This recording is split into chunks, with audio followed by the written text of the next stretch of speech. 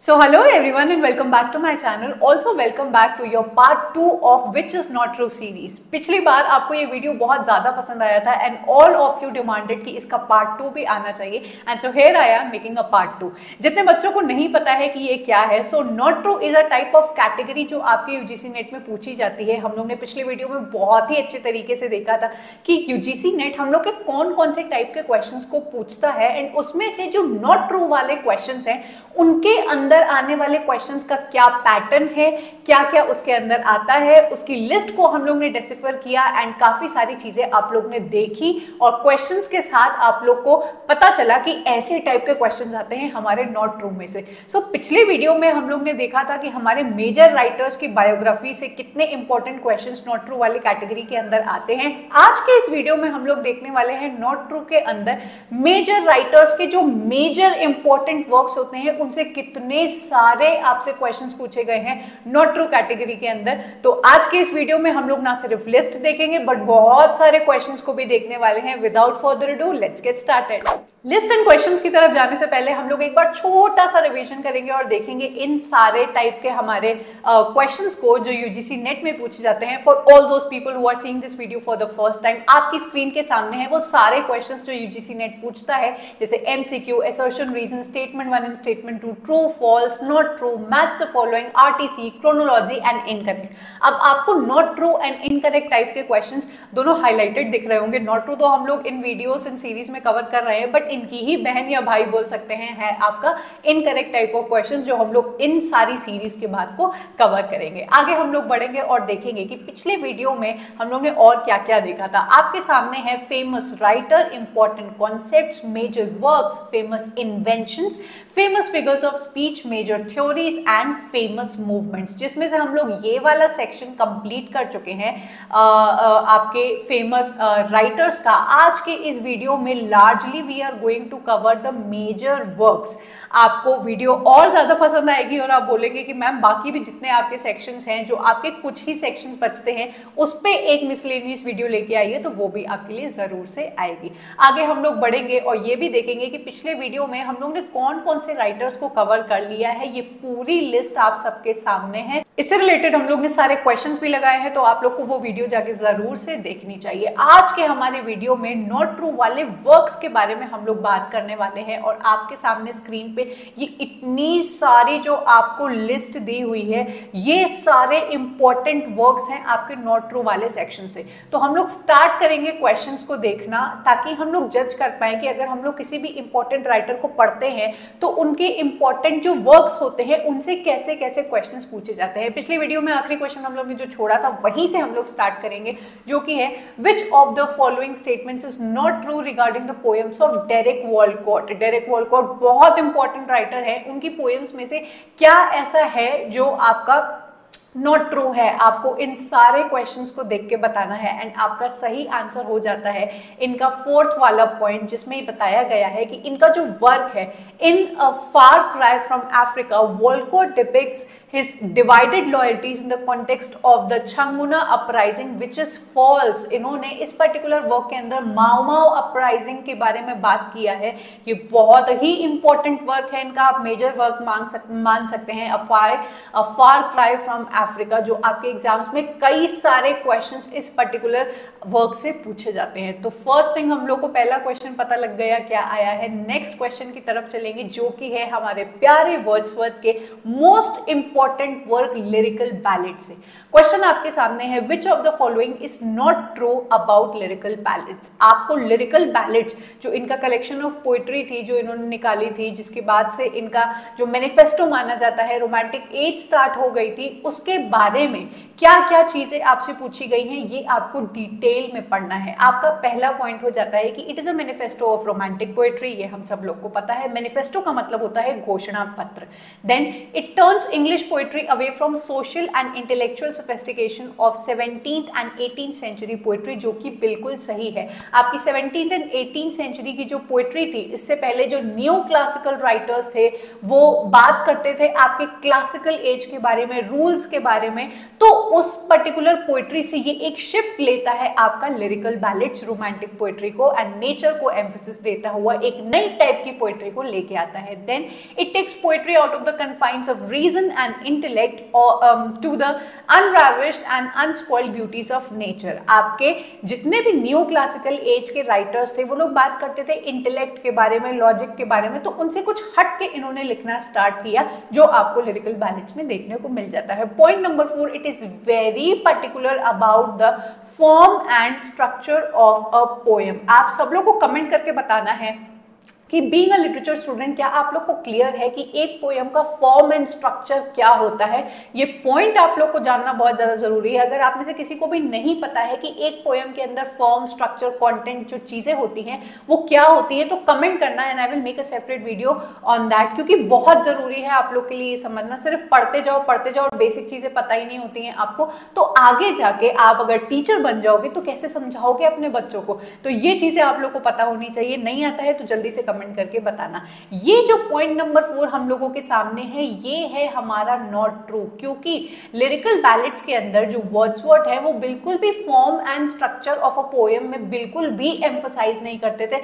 इस particular point के ऊपर तो हमारे वर्ड्सवर्थ एंड कोलरेज की लड़ाई हो चुकी है। आगे जाके उन्होंने अपनी भी एक बायोग्राफिया लिटरेरिया पब्लिश की जिसके अंदर वो वर्ड्सवर्थ को डिफाई करते हुए दिखाते हैं इस ही पर्टिकुलर पॉइंट के ऊपर कि भाई पोएम है तो फॉर्म एंड स्ट्रक्चर तो इंपॉर्टेंट है ही।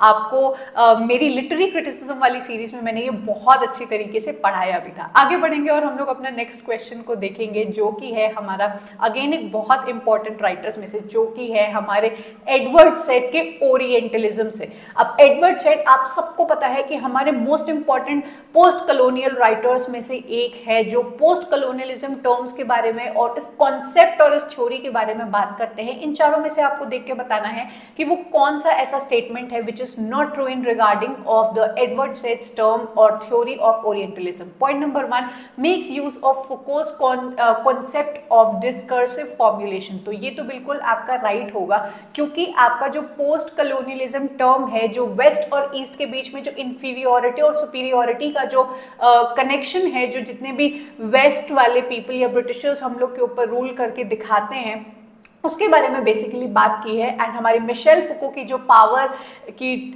थ्योरी है, वो इससे बहुत हद तक मैच करती है तो ये आपका ट्रू है। It is one of the founding text of post colonial theory जो कि बिल्कुल सही है। मेक्स यूज़ ऑफ़ बार्थ रोला बार्थ के कॉन्सेप्ट ऑफ़ राइटरली टेक्स्ट ये वाला जो इनका पॉइंट है बेटा, ये नॉट ट्रू हो जाता है, क्योंकि कहीं से भी उनका पोस्ट कलोनियल थ्योरी का एंड आपके रोला बार्थ के राइटरली एंड रीडरली टेक्स्ट वाले कॉन्सेप्ट का कोई कनेक्शन नहीं है। तो ये बन जाता है हमारा point number four not true आपको इसमें से कोई भी ऐसा पॉइंट पढ़ते पढ़ते समझ में नहीं आता है तो आप उसको ज़रूर से कमेंट करिएगा आपके लिए एक अगली शॉर्ट वीडियो बन जाएगी। देन हम लोग बात करेंगे अपने अगले नेक्स्ट क्वेश्चन की तरफ़, जो काफ़ी बड़ा सा क्वेश्चन हम लोग को दिखाई दे रहा है। ये अगेन आता है हम लोग के वर्चवर्थ के वर्क द प्रिल्यूड में से बहुत इंपॉर्टेंट इनका ये भी एक वर्क है। उसमें से आप देख सकते हैं कि आपको चार पॉइंट्स दिए हैं, बताना है कि क्या ट्रू है। पहला point the prelude was publish posthumously In this poem, Wordsworth records his development as a poet. Then the poem runs into 14 books. At crucial stages, the poet celebrates the sublime, sublime natural scenery in developing his spiritual, moral and imaginative nature. अभी तक हम लोग को सब कुछ true लग रहा है. Poems like Michael Old Cumberland beggar, she dwelt among the untrodden ways, nutting etc. are the highlights of this volume. और बेटा ये वाला जो ये ऑप्शन है पॉइंट नंबर फोर ये हो जाता है आपका नॉट ट्रू क्योंकि ये जितनी भी आपके सामने पोएट्री की पोएट्री पोएम्स लिखी हुई हैं टाइटल दिए हुए हैं ये सब आपके लिरिकल बैलेट्स का पार्ट है तो आप देख पा रहे हो कि कितना डीप क्वेश्चन आपसे पूछा गया है कि आपको ये भी पता होना चाहिए कि लिरिकल बैलेट्स के अंदर कौन कौन सी पोएम्स आई थी विथ नेम्स और प्रिल्यूट के अंदर कौन कौन सी पोएम्स आपकी आई थी विथ नेम्स तो आपका आंसर बेटा बन जाता है point number four is not true आगे बढ़ेंगे, हम लोग नेक्स्ट क्वेश्चन देखेंगे, जो अगेन है आपके लिरिकल बैलेट से. तो आपको समझ में आ रहा है कि वर्ड्सवर्थ कितने इंपॉर्टेंट राइटर है एंड उनके जो मेजर वर्क्स हम लोग पढ़ते हैं, उनसे कैसे क्वेश्चंस पूछे जाते हैं. सबसे पहले वाला पॉइंट हम लोग पढ़ेंगे it carried only one ballad proper which was Coleridge the rime Coleridge the rime of ancient manner mariner हम सब लोग को पता है कि जब हमारी लिरिकल बैले निकलती है तो हमारे काफ़ी सारी पोएम्स वर्ड्सवर्थ ने दी थी देन उसकी कुछ पोएम्स हमारे कोलरिज uh, ने दी थी जिसमें से एक ही बैले उसके अंदर आता है rime of ancient mariner Point number second, it also carried pastoral in other poems, which is quite correct. Then it carried a preface which Wordsworth added in 1800, जो हम लोग का literary criticism का पार्ट बन जाता है। इन्होंने जो प्रीफेस ऐड किया था, उसको हम लोग लिटरेरी क्रिटिसिज्म में पढ़ते हैं, जिसके अंदर बताते हैं ये कि poetry is a spontaneous overflow of emotions and और भी बहुत सारी चीज़ें इन्होंने बताई हैं। पॉइंट नंबर फोर देखिए it also printed Gray's elegy written in a country churchyard जो बिल्कुल भी बेटा सही नहीं है। कहीं से भी आपका जो elegy written in a country churchyard है, वो आपके लिरिकल बैलेट्स का पार्ट नहीं बनता है। सो नाउ यू नो कि अगर मैं लिरिकल बैलेट्स पढ़ूँ तो उसको क्या क्या उसके अंदर मुझे पढ़ना होगा, मुझे क्या क्या चीज़ें ध्यान में रखनी होगी, क्योंकि क्वेश्चंस आप देख चुके होंगे और यही फ़ायदा होता है क्वेश्चंस को लगाने का। जल्दी से आप लोग कमेंट करिए कि आपको वीडियो कैसा लग रहा है और लाइक भी ज़रूर से कर दीजिएगा। नेक्स्ट क्वेश्चन अगेन है आपका बहुत ही इंपॉर्टेंट वर्क से जो कि है वेटिंग फॉर गोडो बहुत इंपॉर्टेंट वर्क है हमारे सैम्यूल बेगेट खुद बहुत ज़्यादा इंपॉर्टेंट है थिएटर ऑफ़ एक्सर्ट की हम लोग जब भी बात करते हैं पोस्ट मॉडर्न लिटरेचर की जब भी हम लोग बात करते हैं Harold Pinter and Samuel Beckett ये दोनों ऐसे राइटर्स हैं from the very starting I been telling all of my students कि इनको बिल्कुल अच्छी तरीके से आपको करके जाना है, क्योंकि इनसे आपको बहुत क्वेश्चन देखने को मिलते हैं। वेटिंग फॉर गोडो के बारे में बात करेंगे। क्वेश्चन देखो, कितना कंफ्यूजिंग है कि it carries a subtitle a tragedy a tragic comedy in two acts then दूसरा point it carries a subtitle a tragedy comedy in two scenes then third है it carries a subtitle a tragedy comedy in two parts और फिर it does not carry any subtitle तो आपका जो correct answer है not true है, वो है आपका पॉइंट नंबर वन ये जो आपका पॉइंट है, ये नॉट ट्रू है. Tragicomedy in two acts नहीं है. एक्चुअल में जो है आपका tragicomedy in two parts या टू सीन्स आप लोग बोल सकते हो. ठीक है? आगे हम लोग बढ़ेंगे और देखेंगे। अगला क्वेश्चन है हमारा अगेन बहुत ही इंपॉर्टेंट वर्क में से ट्रिस्ट्रम शैंडी जो लॉरेंस टर्न का एक बहुत ही इंपॉर्टेंट वर्क है और उसकी कुछ डिटेल्स देकर आपसे पूछा गया है कि बताओ भाई, इसमें से आपका नॉट ट्रू स्टेटमेंट कौन सा है? क्या उसका एक लीनियर प्लॉट था? क्या वो ओपन एंड एंड करता है with the theme of birth क्या उसके अंदर आपको एक ट्रिप टू फ्रांस दिखाई देती है? या फिर it contains a marble page तो ये सारी चीज़ें आपकी ट्रू हैं, सिवाय आपके पॉइंट नंबर वन के जो आपको बोलता है कि it has a linear plot no आपका ये जो वर्क है ट्रिस्टान शैंडी वो बेटा फ़ेमस ही है आपके नॉन लीनियरिटी के लिए कि बहुत ही अनस्ट्रक्चर्ड तरीके से नॉन लीनियर तरीके से अपनी स्टोरी को वो दिखाता है। तो ये वाला जो स्टेटमेंट है, आपका फॉल्स या नॉट ट्रू बन जाता है। अगेन हम लोग आते हैं बहुत ही इंपॉर्टेंट राइटर के वर्क को देखते हैं, जो कि है हमारे महेश दत्तानी का फाइनल सोल्यूशन अब अगर आप सबको याद होगा कि मेरी इससे पहले एक वीडियो आई थी जहाँ पे हम लोग ने मोस्ट इंपॉर्टेंट इंडियन ड्रामेटिस्ट के वर्क्स को देखा कि कितने कितने उनके इंपॉर्टेंट वर्क्स आते हैं। आई टोल्ड यू कि महेश दत्तानी का फाइनल सोल्यूशंस एक ऐसा वर्क है मेजर वर्क है, जिसमें से आपके सबसे ज़्यादा क्वेश्चंस पूछे जाते हैं। तो यहाँ पे आपको नॉट ट्रू बताना है एंड आपका नॉट ट्रू जो है, इसमें से वो है पॉइंट नंबर थ्री जो कि कहता है कि आपका फाइनल सोल्यूशन डील नहीं करता है with the concept of homosexual relationship अब आप सभी को कमेंट करके नीचे बताना है कि आपके महेश दत्तानी का अगेन एक इंपॉर्टेंट वर्क है जो मैंने आपको बताया भी था, वो आपका डील करता है होमोसेक्सुअल रिलेशनशिप्स के बारे में। जल्दी से सारे बच्चे नीचे कमेंट करेंगे और बताएँगे कि वो कौन सा वर्क है जो आपके एक कॉन्सेप्ट को लेके आया था। गे रिलेशनशिप्स ये आपका थोड़ा सा हिंट हो जाएगी होमोसेक्सुअल रिलेशनशिप्स के बारे में बात करता है so do tell me then next work हम लोग जो देख रहे हैं अपने सामने वो है which of the following statements is not true of Wole Soyinka's the swamp dweller आप सबको अभी तक दिख गया होगा कि हम लोग सिर्फ़ और सिर्फ़ मेजर राइटर्स को डील कर रहे हैं, क्योंकि नॉट ट्रू वाले स्टेटमेंट्स के अंदर सिर्फ़ मेजर वर्क्स एंड उनके मेजर राइटर्स के वर्क्स को ही पूछा गया है। अभी तक कोई भी माइनर राइटर या माइनर वर्क हम लोग ने नहीं देखा है which I pretty well told you in my earlier video तो ये आपका क्वेश्चन है, जिसके अंदर हम लोग को नॉट ट्रू पता लगता है कि it talks about the migration of the people crossing of borders and diasporic anguish के बारे में ये बात नहीं करता है। आगे बढ़ेंगे और अपना अगला वर्क देखेंगे जो कि है हमारे काजुओ इशीग्रू के work remains of the day से। अगेन ये एक बहुत इंपॉर्टेंट राइटर है जिनके वर्क से आपसे पूछा गया है कि क्या नॉट ट्रू है। And this is the statement which is not true कि इनका ये जो वर्क है it does not uses the classic English detective story form ये नॉट ट्रू है, ये नहीं यूज़ करता है। आगे बढ़ेंगे और अपने क्वेश्चन नंबर 11 की तरफ़ चलेंगे, एरोपेजिटिका। ये क्या है? हमारे मिल्टन का एक बहुत ही इंपॉर्टेंट वर्क है। इन चारों स्टेटमेंट्स को हम लोग पढ़ेंगे और देखेंगे कि इसमें से क्या नॉट ट्रू है। आपका पहला स्टेटमेंट है कि ये आपके 1644 में पब्लिश हुआ था। Then it argues for the liberty of unlicensed printing then it pleads for British privileges regarding free trade trade के बारे में बोला गया है। देन फोर पॉइंट है it is a speech address to the parliament of England तो भाई तीन मुझे सही लग रहे हैं, जो तीसरा वाला पॉइंट है वो मुझे नहीं ठीक लगता है, क्योंकि यहाँ पे फ्री ट्रेड के बारे में बात हो रही है। तो कहीं से भी एरोपेजेटिका आपके फ्री ट्रेड के बारे में बात नहीं करता था, वो freedom of speech and unlicensed आपकी प्रिंटिंग और इन सारे टॉपिक्स के बारे में बात करता है, ठीक है?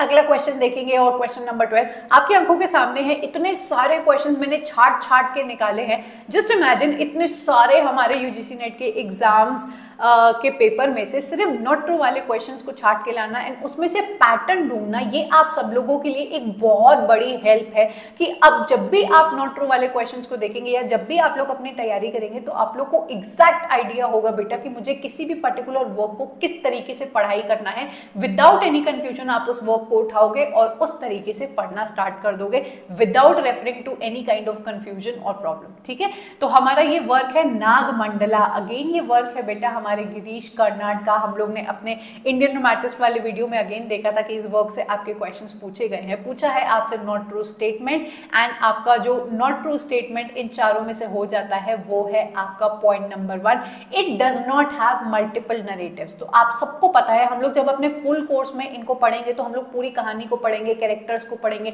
उनसे क्या क्या पूछा जाता है, वो सारी चीज़ों को हम लोग बहुत ही डिटेल्ड और स्ट्रक्चर्ड वे में पढ़ाई करेंगे। तो अभी के लिए आपका जो स्टेटमेंट नॉट ट्रू बन जाता है, वो ये है कि इसमें मल्टीपल नरेटिव्स आपको नहीं देखने को मिलते हैं। और इसी के साथ हम लोग का आज का जो वीडियो है, वो खत्म हो जाता है। I hope you like this video and overall in general आपको मेरे सारे वीडियोस पसंद आ रहे हो इंसाइटफुल लग रहे हो। सिर्फ़ पसंद आने से फ़र्क नहीं पड़ता है, आपकी हेल्प हो रही है या नहीं, ये मुझे आपको आपको बताना है मुझे कमेंट्स में कि मैम आप ये जो वीडियोस लेके आ रहे हैं, हम लोग की किस तरीके से हेल्प कर रहे हैं। एंड आपके पढ़ने का जो पर्सपेक्टिव है, वो जो आई वॉन्ट टू चेंज कि आप लोग किसी भी पर्टिकुलर वर्क को देख के जो परेशान हो जाते हो, हम लोग क्यों परेशान होते हैं? क्योंकि हम लोग को पता ही नहीं होता है कि उसमें से क्वेश्चंस कैसे आ रहे हैं। But when you see such kind of question you see such kind of videos you get a confidence कि मुझे इस तरीके से डील करना है अपने लिटरेचर की प्रिपरेशन को या फिर किसी वर्क को। Do let me know your thoughts because आपके थॉट्स मुझे बहुत ज़्यादा हेल्प करते हैं आगे और भी अच्छा करने के लिए नए नए इनोवेटिव आइडियाज़ एंड वीडियोज़ को ले आने के लिए। So do give me your feedback and जितने भी बच्चे मुझे फीडबैक फीडबैक देते हैं. I am very very thankful to them so मिलते हैं हम लोग अगले वीडियो में. Do let me know your thoughts कि क्या आपको थर्ड पार्ट देखना है इसका या नहीं. And up till then I will take your leave and I will meet you next in yet another video bye